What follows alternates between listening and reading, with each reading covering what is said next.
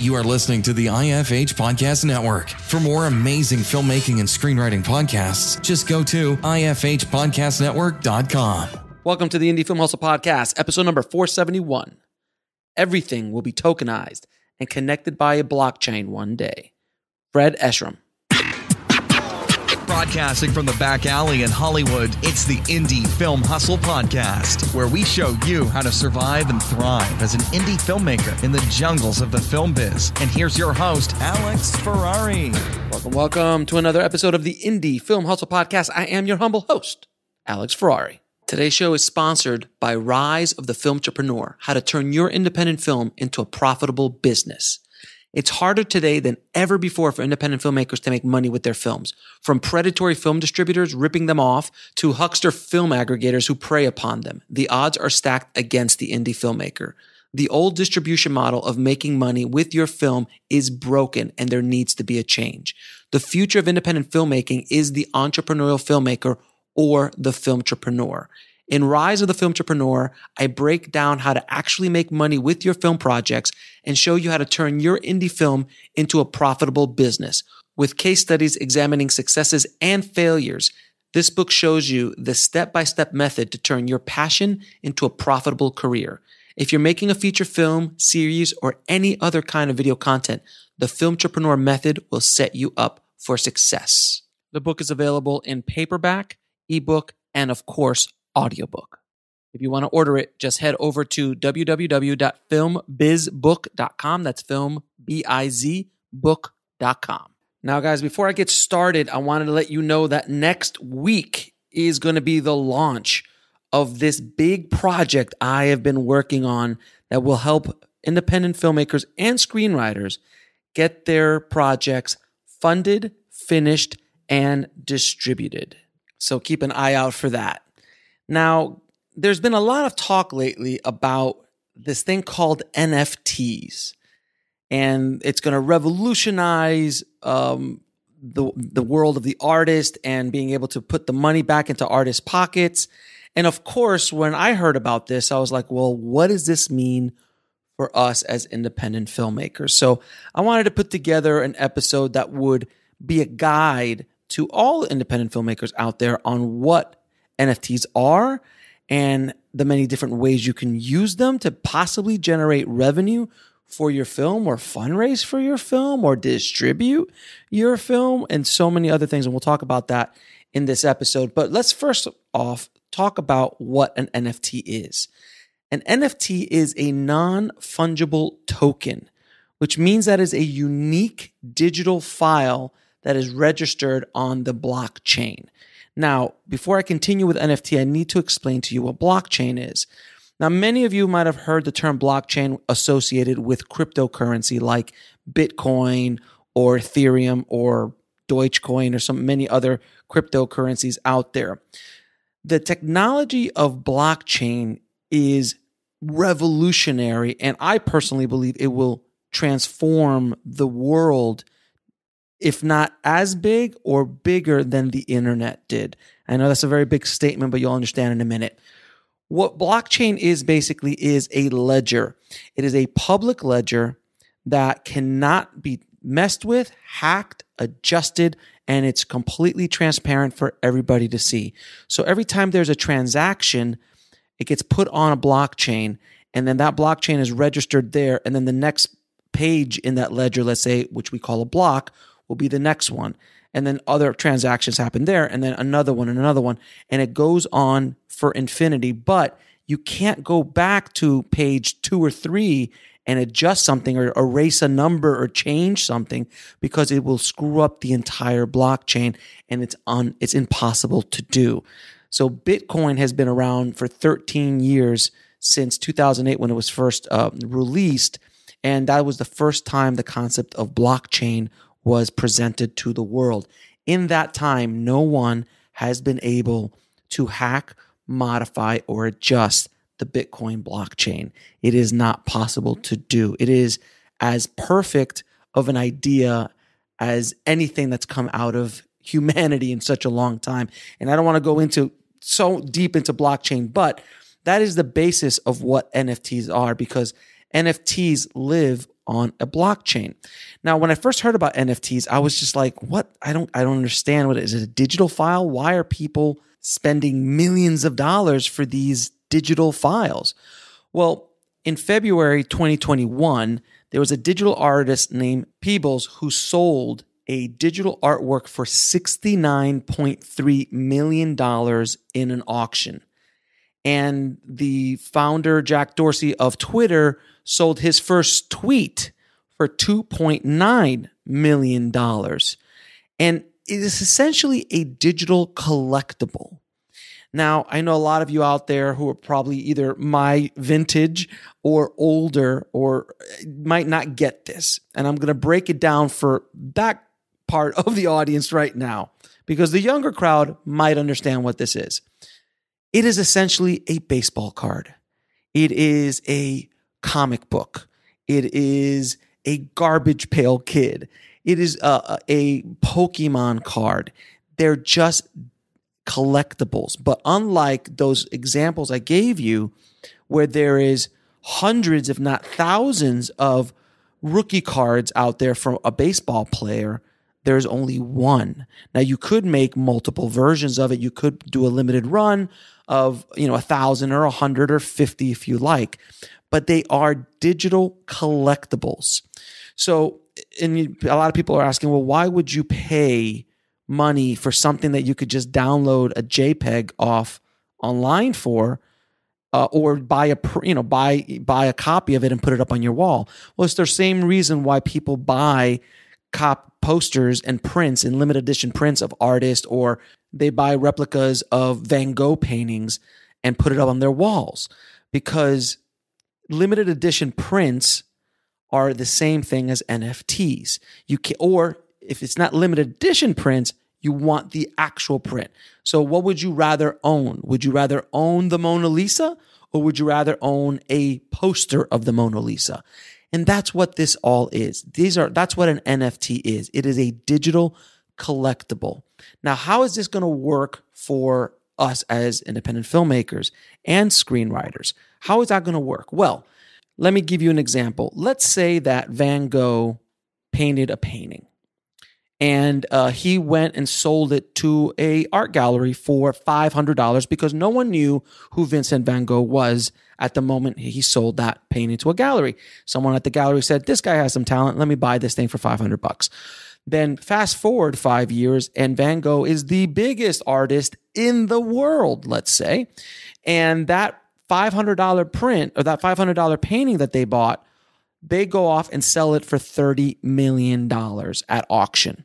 Well, that's great for the, the owner of the original painting, but that does nothing for the artist. The artist does not get to reap any of those rewards. And that has been the problem with art for the longest time uh, in the art world because the artist never gets to, you know, you know, wet his beak, as they say, or wet their, her beak, as they say, uh, when it comes to upsells or, f- or future revenue generated from their art. Well, the thing with NFTs is, is as the artist, you control what you do with your art. So if I'm an artist, I'll put my, let's say, digital painting up as an NFT, and there's only one of them. And I'll auction it off or I'll sell it at, a fixed price and someone buys it for that. So let's say I put a poster up of one of my movies and uh, somebody out there decides to spend a thousand dollars for it. And I'm like, great, you now own that NFT. I don't own it anymore. You own it. Now, let's say in a couple years, uh, my art starts selling crazy. People will really pop, really want my my poster art and all that kind of stuff. Well, then say the original owner of that first NFT that they that was bought for thousand dollars, they put it back on the market and they sell it for hundred thousand dollars. Well, because I created that NFT, I could put whatever percentage it is I want, but because it's on the blockchain, every single time that NFT is sold, 10% comes back to me. That's a standard rate for this. So you could do 20%, you could do 5%, but standard percentages are 10%. So from here until eternity, every single time that NFT is sold somewhere else, anywhere, anytime, instantly I get 10% of whatever that sells. We'll be right back after a word from our sponsor.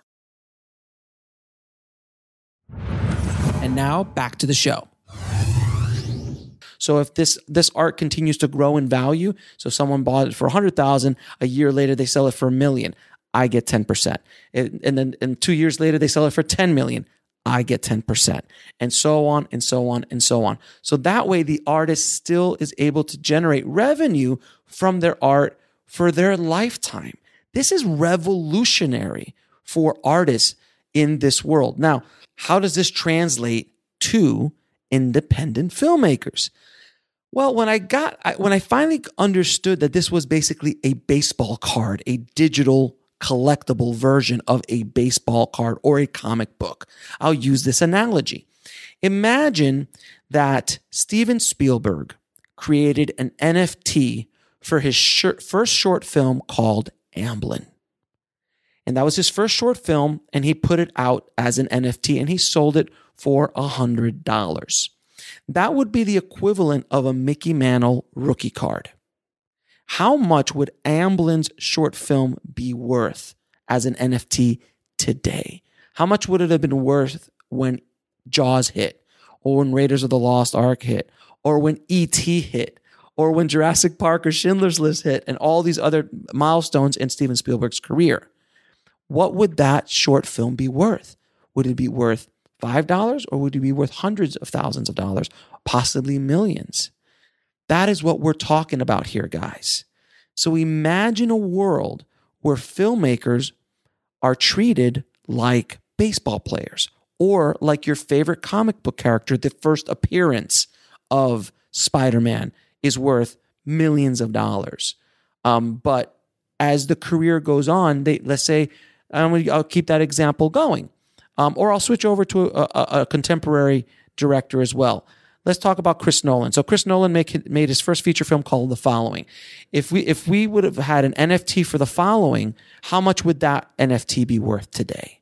So after that, he creates an NFT for Memento. How much would that NFT be worth today?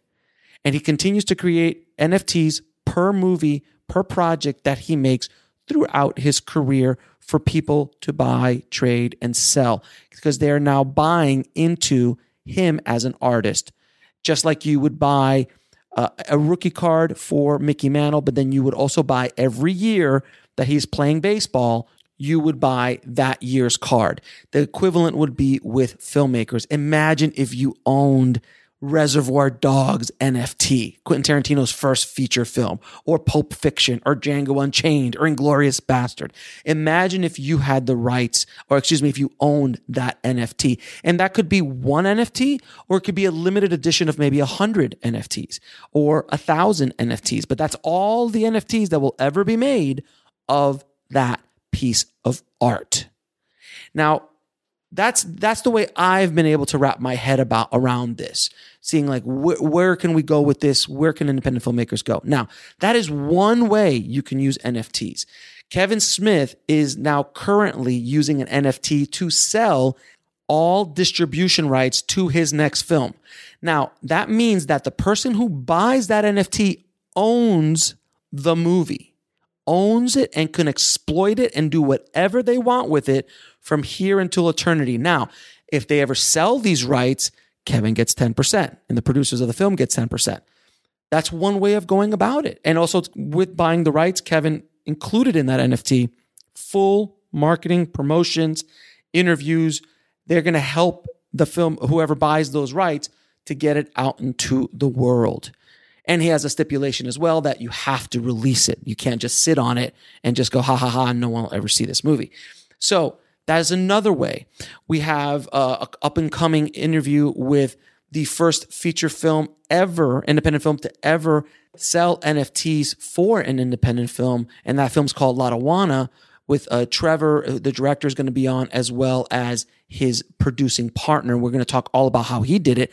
And what they did essentially was sell shares in their movie. So you're selling shares as NFT. So now every time there's money to be made from anytime there's money that comes in, these these people who own the NFTs will get a piece of the movie. So there's a, that's another way to make monies with NFTs and independent films. Even another way is to essentially crowdfund your film with NFTs, meaning that you can put out a thousand shares for your for your film as NFTs and people could start buying them and you can set whatever price you want. You can auction it if you like and you can raise capital to make your movie if you have an audience if you have people that will believe in the project you're doing and so on. But this is unlike crowdfunding it's they're just buying shares in your movie and they can do that. Now how is this all done? This is all done using cryptocurrency. So the reason why NFTs work, it's not because they're sending you a check every single time uh, a sale comes in. It all happens automatically on the blockchain to your uh, to your cryptocurrency wallet. Usually it's using Ethereum, which is a whole other conversation, but that is the that is the cryptocurrency that they're using for um, NFTs right now. But the thing is, guys, the NFTs right now are in their infancies. Everyone's just trying to figure out what to do with it what what's going on with it, how to do it. Some people are selling NFTs with physical things with it. They're selling uh, experiences with their NFT. So if you buy my NFT, you'll also get a hard copy version of it, and you'll also get um, you know a conference call with me, and you can maybe get an autograph picture from the star. And they just constantly are packaging things together. So nobody really knows what to do with the film and how to uh, with, with the with the NFTs and how to actually market it because it's all brand new. This is essentially the internet in 1996. Okay, that's what NFTs and blockchains are right now. The concept of a blockchain. People are starting to figure out. Imagine in 1995 if I told you to go go to this URL, nobody would have understood. A lot of people would have not understood what you were talking about. There was a group of people that did, but many people wouldn't. It's the same thing now. People are like, what is cryptocurrency? I don't know. What is a blockchain? What is that? What is an NFT? These are things that will be part of our societal vernacular in the coming years.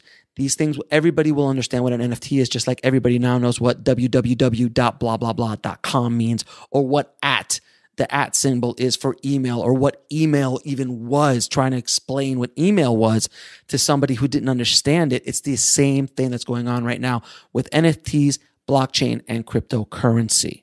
And I promise you one thing the moment the studios understand what's going on with NFTs, they are going to jump in because what would you think the NFT for the latest Star Wars movie is or the limited edition stuff that they're going to put out for the next Star Wars movie or for the next Marvel movie, what would the Avengers Endgame be worth as an NFT? What would Iron Man's NFT be worth?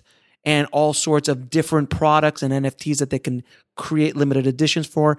All of these digital assets that they can create and auction off to not only sell um, make money with the actual NFT, but the marketing. Can you imagine that Disney puts up the Avengers uh, Endgame NFT, and there's only one, and you get to auction it. I promise you that will go for millions of dollars.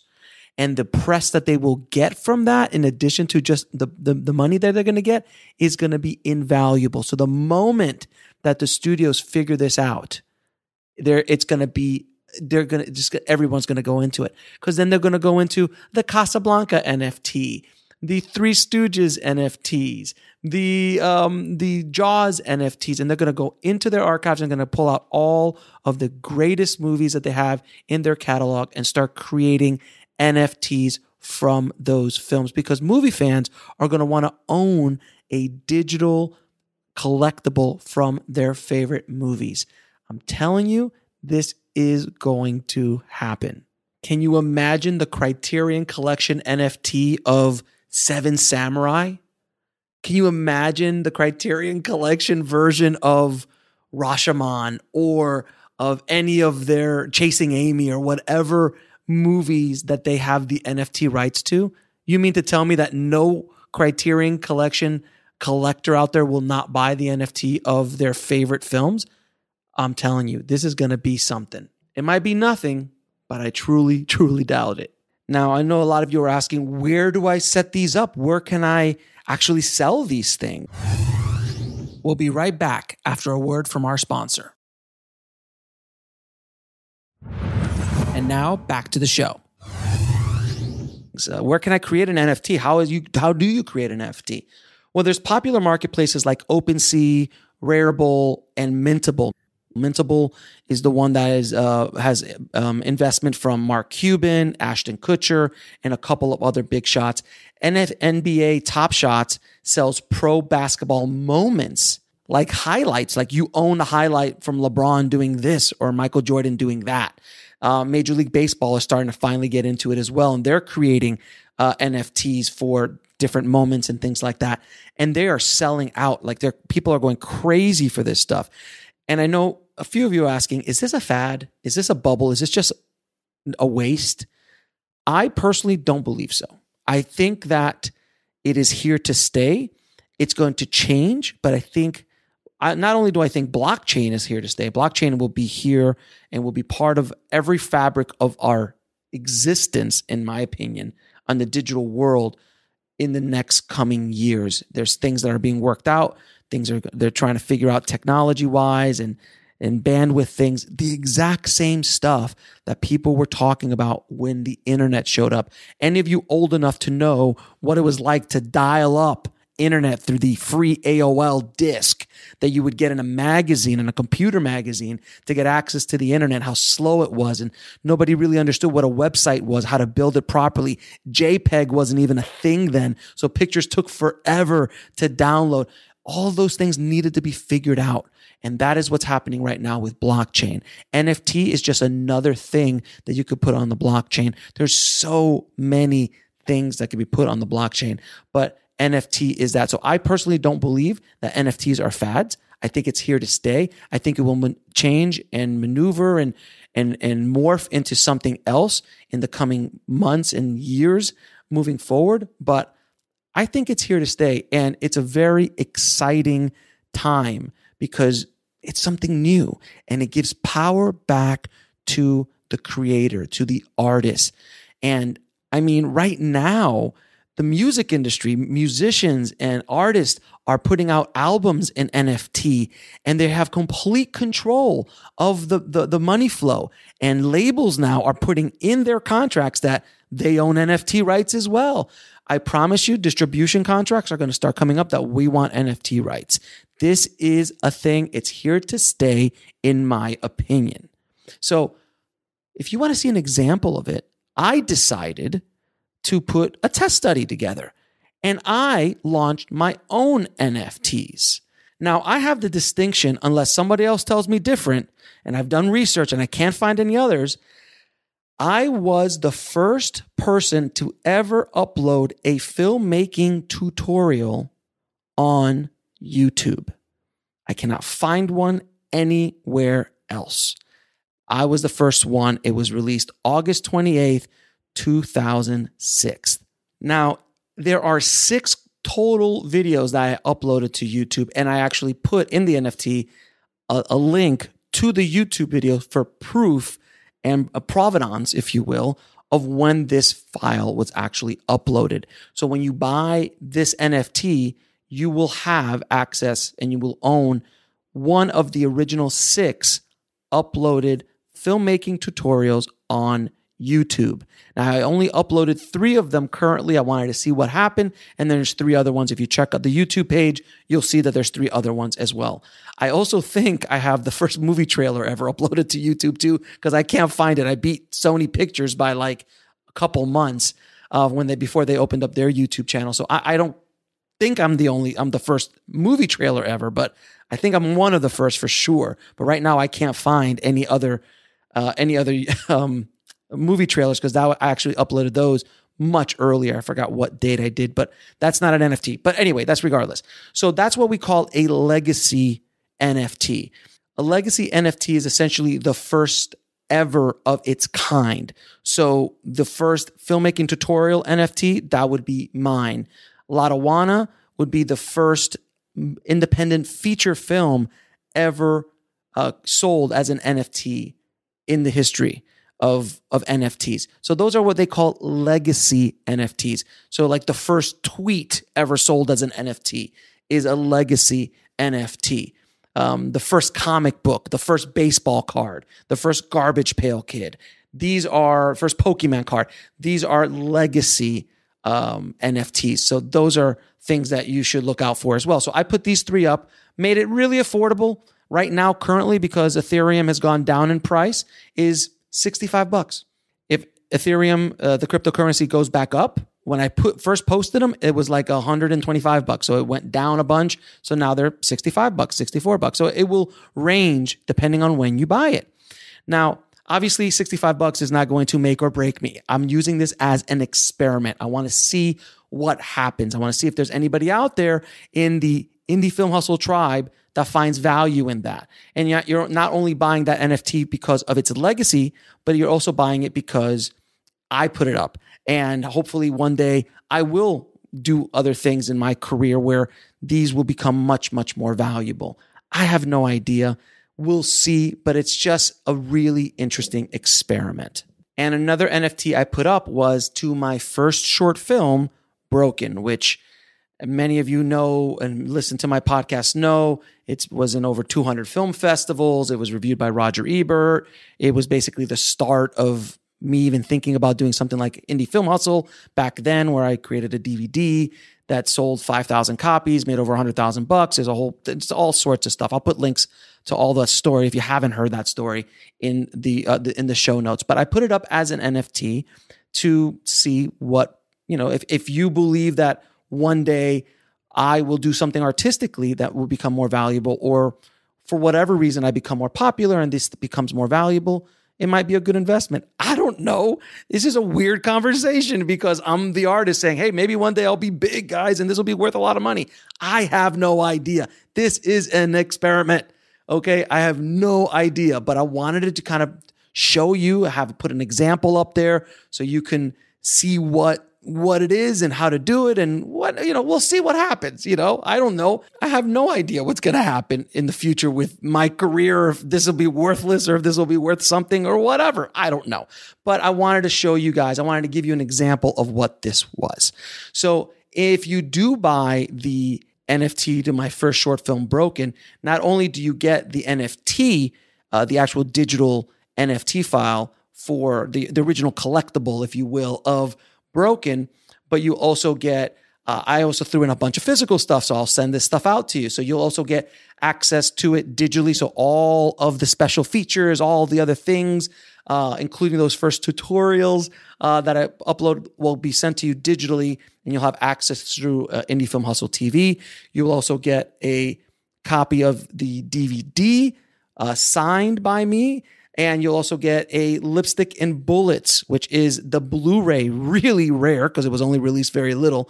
Uh, a, a, a lipsticks and bullets Blu-ray, which has Broken and three of my other feature films that they put into a compilation uh, Blu-ray that was released, uh, God, like eight years ago as well. So you'll get that in addition to that. Plus, you'll also get a digital collection of never before released poster designs that I I created October 22nd, 2004, and those are the original files uh, as well. So you'll get a bunch of stuff when you buy this NFT. Currently, as of this recording, the NFT is running uh, $264.60. That will change depending on the the rate of um, uh, of uh, Ethereum. So if these sell out, I'll put up the other three filmmake the first filmmaking tutorials on YouTube. So there's you'll have the entire collection of six up there, uh, and then I also have three other uh, short films uh, that I made that are um, Red Princess Blues,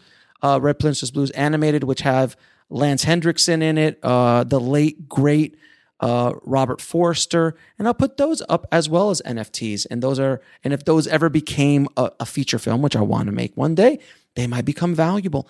I don't know. Again, 250 bucks, 50 bucks, it's not making or breaking me, guys. I'm just putting it out there to see what happens. It's going to be a really interesting experiment. Nobody might buy it right now. It might sell out in, in, in 15 minutes. I have no idea. So I'm really curious about it. So How did I put them up? Where did I put them up? I put them up on Mintable. Uh, so mintable.app. The reason why I use Mintable is because there was no cost to put them up. If you use any of the other platforms, we'll be right back after a word from our sponsor. And now back to the show. Those other platforms are going to charge you what is called a gas fee.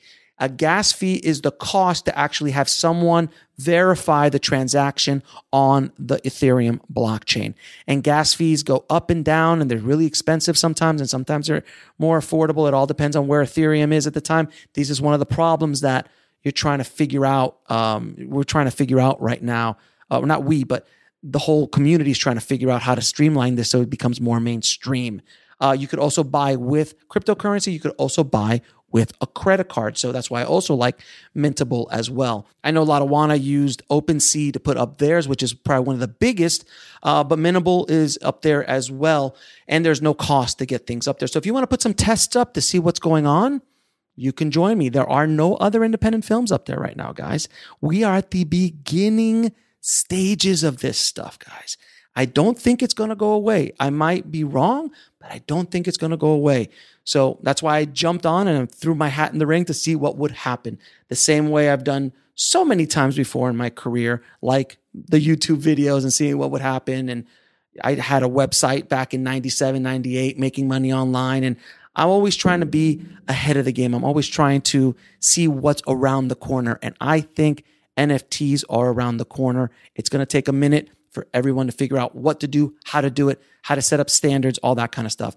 And also, uh, putting things up as an NFT, you do need a little bit of technical knowledge. I'm not going to lie to you. It's not the easiest process in the world, but I learned it, you know, in a couple hours watching a bunch of YouTube videos uh, and tutorials on how to do it on Mintable. Mintable's pretty easy, not that complex to do. You just have to educate yourself a little bit about it. Uh, and there's tons and tons of uh, tutorials on YouTube for free on how to update things and understand what gas fees are and all this kind of stuff. So you can learn all that stuff fairly easily, but it is doable. So I hope this episode has, you know, lit a fire under your butts to see if there's something else that you can do. Maybe another revenue stream, maybe another way to raise money, another way to um, to distribute your film and get it out there into the world. There's so many, just the opportunities are endless and the options are endless with NFTs. You can really do a whole lot with it. So let's all see what happens. You know, I'm really interested. Now, if you want to purchase or at least look at my NFTs, all you have to do is go to IFH NFT. That's like Indie Film Hustle, IFHNFT.com. And it'll take you straight to my uh, my my collection of NFTs, and let's see what happens. Again, big huge experiment. I'm expecting that no one's going to buy anything, and nothing is going to happen because I just don't know. I just don't know. So I'm really excited to see what happens.